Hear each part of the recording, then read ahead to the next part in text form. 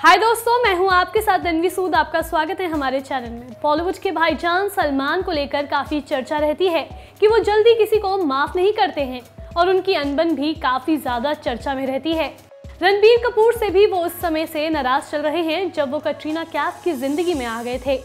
अब रणबीर ने फिर कुछ ऐसा कर दिया है कि सलमान खान उनसे बेहद नाराज़ चल रहे हैं। मीडिया रिपोर्ट्स की माने तो रणबीर कपूर की आने वाली फ़िल्म डेविल से सलमान खान बिल्कुल भी खुश नहीं है।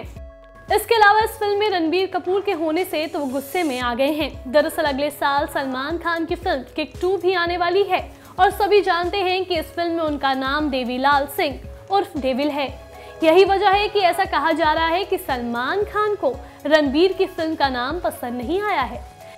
बता दें इस फ़िल्म को संदीप वांगा बना रहे हैं। कहना गलत नहीं होगा कि रणबीर ने एक बार फिर से सलमान को नाराज़ कर दिया है। बता दें कि ये पहली बार नहीं है जब भाईजान और रणबीर कपूर को लेकर इस तरह की खबर आई हो।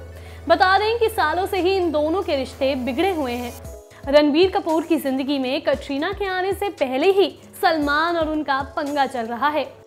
खबरों की माने तो सालों पहले जब रणबीर बॉलीवुड में न्यू कमर थे, उस दौरान एक पब के अंदर सलमान और रणबीर के बीच झगड़ा हो गया था। भाईजान का गुस्सा इस कदर बढ़ गया था कि उन्होंने रणबीर को चांटा तक जड़ दिया था। उसके बाद रणबीर तो वहाँ से चले गए। लेकिन बाद में सलमान के पिता सलीम खान ने रणबीर और ऋषि कपूर से माफ़ी मांगी थी।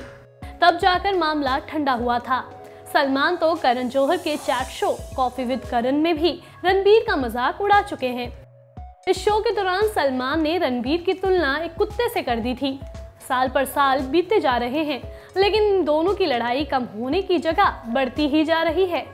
वहीं अब संदीप वांगा की फ़िल्म डेविल के नाम से भाईजान फिर से नाराज़ हो गए हैं। वेल देखने वाली बात तो अब ये होगी कि रणबीर और सलमान के बीच की लड़ाई कब तक खत्म होती है।